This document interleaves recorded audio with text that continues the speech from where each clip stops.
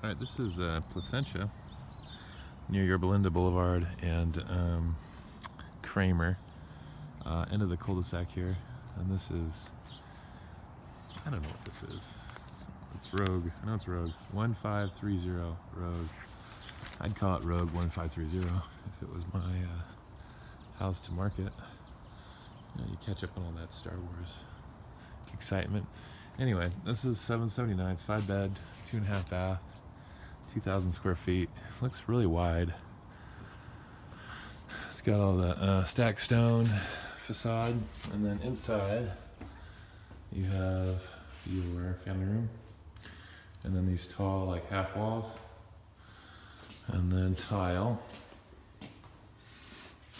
kitchen, and then some granite, little electric range, double oven, maybe a microwave as well, and then like the wood floors. Backyard.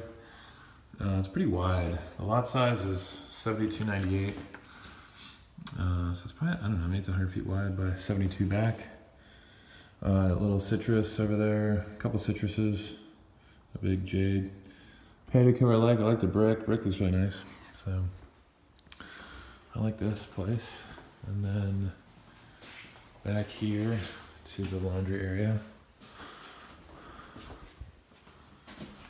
This is the garage.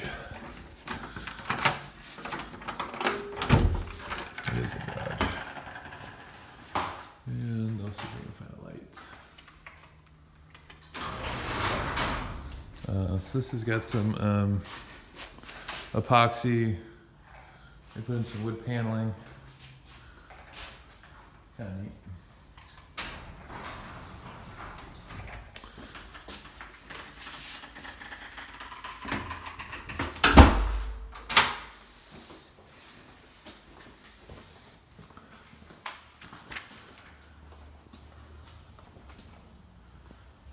There's this bedroom here.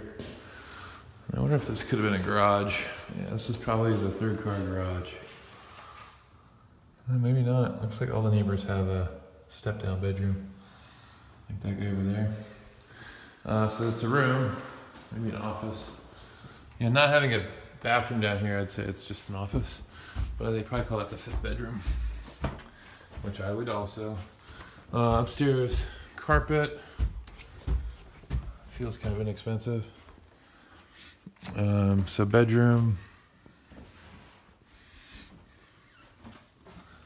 Bedroom. This has access to a bath, which has been redone. New tile. I like all the tile around the um, connected chair rail. And access point to the hallway. And then bedroom here. Third bedroom.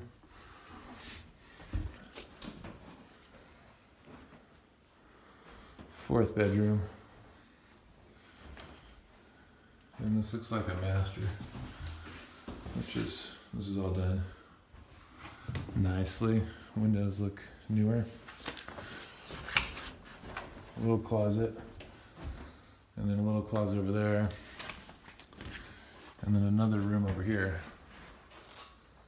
So there is five bedrooms upstairs. I'd call this a six bedroom. Um, so yeah, I like this place. It just depends. Depends on how you like your layouts and stuff. I mean, the rooms are a little small, um, but I don't think that's a, a terrible thing. And you could even that room down there, you could just make it part of the master. You could put like a little door right here. Make that whole wing a master, and then all the girls have their own rooms.